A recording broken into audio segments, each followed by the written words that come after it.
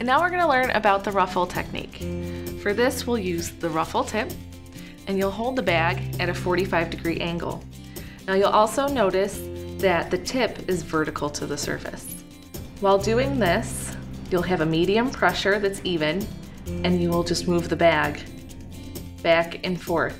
You can see the frosting too, I kind of let, let it flow out first and guide the frosting as you move back and forth. This looks really pretty on the side of a cake.